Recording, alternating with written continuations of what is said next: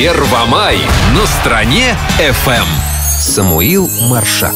Читает Артем Шахов. Пять лет. Распустился ландыш мая В самый праздник, в первый день Май цветами провожая Распускается сирень Первомай на стране FM.